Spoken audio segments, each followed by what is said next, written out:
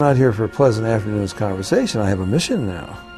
Uh, I want you to know that God isn't personal, He's a force. And Jesus is not the Savior. I mean, He's just a more highly evolved uh, being than I am. I've heard about Him, I haven't seen Him yet, but He's on a higher plane. Uh, and on and on it goes. Uh, spirit survival. No, Dad, there's no judgment. Uh, God doesn't judge you. You don't face Him in judgment. We just move into graduate school and we continue to learn our lessons, you know, and progress and so forth.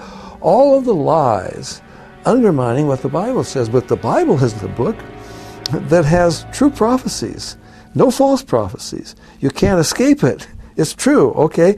So when these entities begin to uh, disagree with the Bible and undermine the Bible, I know who they are. In fact, uh, you know, I've interviewed people around the world. I've been studying this thing for years uh, whether they're channelers. You got about a thousand of them in Los Angeles. You used to have. I don't know how many they have now. Read some of your New Age publications. They will admit that what the channelers, what the psychics, what the mediums say all over the world who've never been in touch with one another, there's a continuity to it. There's an amazing uh, uh, similarity, not just a similarity, but it's it really it's coming from the same source, obviously. And there's a definite philosophy that is presented that conforms to the four lies that the serpent introduced to Eve in the Garden of Eden. That God is not personal but a force, that you don't die, there's no death, you just get recycled, reincarnation.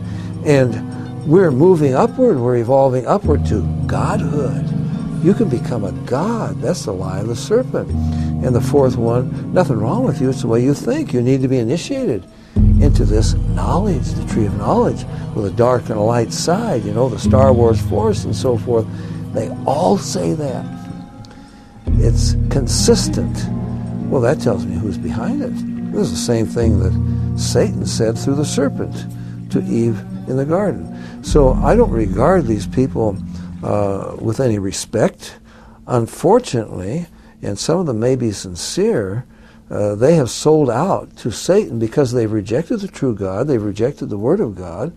I mean, when I consider what the Bible tells me and the prophecies it gives me, and the proof, for example, that Jesus is the Messiah, all that it says, centuries, thousands of years, in fact, some of them, before he came, where he would be born, even the day he would ride into Jerusalem and so forth. I mean, you cannot escape it. This is the truth. Now, anybody who then turns from this book, and we've got uh, some sincere people that I think may be real Christians in, in, the, in the charismatic world, and I'm not against uh, uh, someone believing in the power of the Holy Spirit. But the Bible is not enough for them. You know, they, if God would only give them orders every morning in neon sign across the sky, or if they could hear a voice, you know. And I, some of these people, I talk to them, and they, oh, Dave, let me tell you what the Lord just told me about you. Really? Well, the Lord hasn't told me. And I'll check you out against the Bible, you know, and I'm not interested. But you say, why do people get involved in this? They want to know the future. They want to know what's going to happen to them. I mean, if you knew what was going to happen to you, what would you do? Uh, you you're going to have a wreck? Are you going to try to avoid that street? Or I mean, it, it just doesn't work. It doesn't make sense.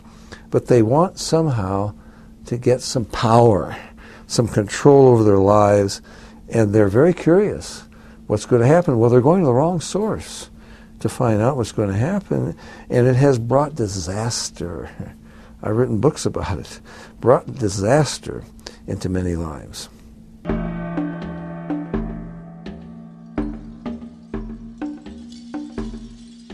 Spirit channelers and mediums from all walks of life claim contact with the spirit realm. The purpose of this contact, supposedly, is to teach mankind to achieve a higher state of consciousness through the knowledge they present. A classic example is JZ Knight, a highly successful spirit channeler who channels a spirit calling itself Ramtha.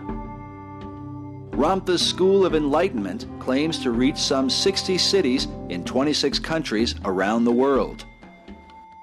In this interview, shot in 1998, Knight explains how she came in contact with her guiding spirit. This was like an angel in my kitchen. You, do, you don't have time to react. You don't have time to, to, to rationalize this in your life. This is happening in your little kitchen. You just, I just blurted out, You're so beautiful. Who are you? And he smiled. This beautiful smile lit up the whole room. And he said, I am Ramtha the Enlightened One, and I've come to help you over the ditch. And I looked back up at him, and he said, Beloved daughter, he said, I have come to make you a light to the world. Equipped with a bad British accent, something that seems common among channelers, Knight gives herself over to the spirit of Ramtha. I am Ramtha the Enlightened One. I am 35,362 1 and 37 seconds years old. I was born in that which is termed a great and marvelous place called Lemuria, and my destiny here is to teach you that which you desire to know, and to let you know that every word that I say I will manifest for you in your life. Incredibly, throughout the interview, Ramtha and Knight repeat the central themes of the New Age movement over and over, insisting that there is no death and that man himself is a god, his only task being to realize his self empowerment. So I must become the teacher. I must plant in your mind outrageous concepts.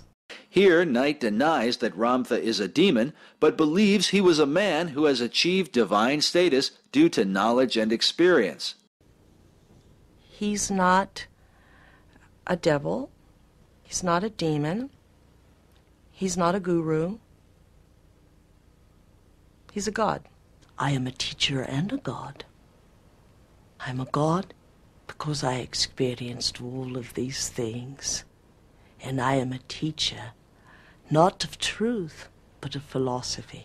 Ramtha insists that his teaching is simple to get people to realize the great intelligence within themselves and that they can do no wrong. It's really simple.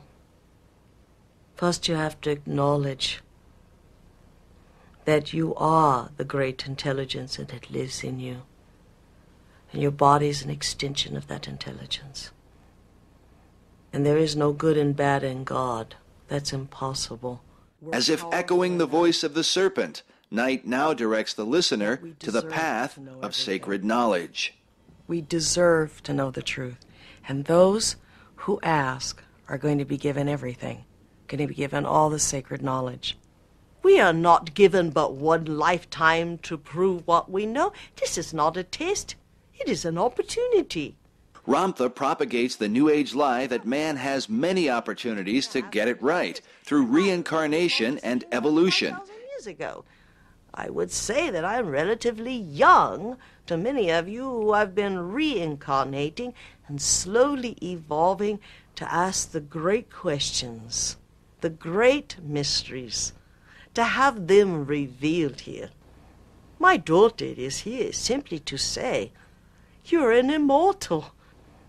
You are wearing this body as if you wore a garment of silk or a garment of roughly hewn wool.